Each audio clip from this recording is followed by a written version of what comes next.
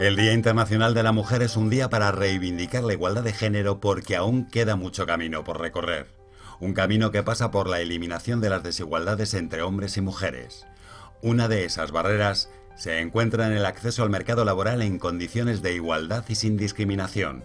Tenemos que, conseguir que se incorporen al mercado laboral las mejores personas trabajadoras independientemente de su sexo y además porque es un tema de derechos humanos ¿no? y una organización como la Cruz Roja pues tiene que trabajar de lleno en reducir las desigualdades entre mujeres y hombres. Según el último informe de vulnerabilidad social, 8 de cada 10 mujeres en dificultad social atendidas por Cruz Roja están desempleadas.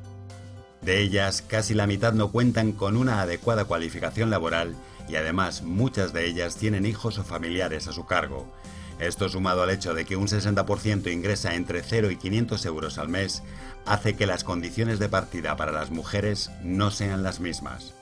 Por todo esto, Cruz Roja lleva a cabo una intervención específica con mujeres en dificultad social, atendiendo cada año a unas 26.000.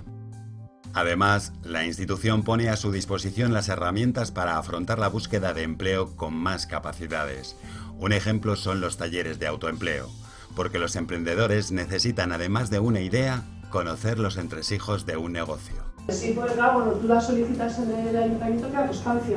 En la situación actual en la que estamos de crisis, el autoempleo es una salida, no solo para que te dé una estabilidad laboral, sino también a aquellas personas que ven un hueco de mercado hay que aprovecharlo. Estar en crisis no significa no puedo lanzarme al autoempleo. Les mostramos qué trámites son necesarios para poder ejercer la actividad, ¿no? tanto en Hacienda, Seguridad Social y licencias, si necesitamos licencia para trabajar y una vez realizado todo eso, pues ya sería abrir y ponernos a, a funcionar.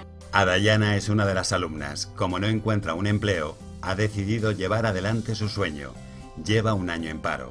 Oye, un poco fuerte ya, o sea, tengo un año desempleada, me ha costado mucho y pues nada, me proyecté ahorita para hacer, montar algún pequeño micro negocio eh, ya viene, viene de Venezuela en cuestión de pastelerías dulce y salado, típicos venezolanos. Además de la formación, Cruz Roja también ha intensificado las actuaciones de sensibilización dirigidas a promover la igualdad de oportunidades y la conciliación laboral. Es importante destacar y seguir trabajando y, y concienciar a toda la sociedad, a las empresas, a las administraciones públicas que la conciliación no es algo de mujeres, que no es un asunto público y que nos corresponde a, todas y a todos. Te corresponde, nos corresponde.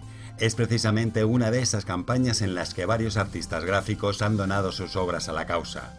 En ellas muestran situaciones reales de desigualdad a modo de denuncia, porque una de las mejores maneras de tratar los asuntos serios es a través del humor.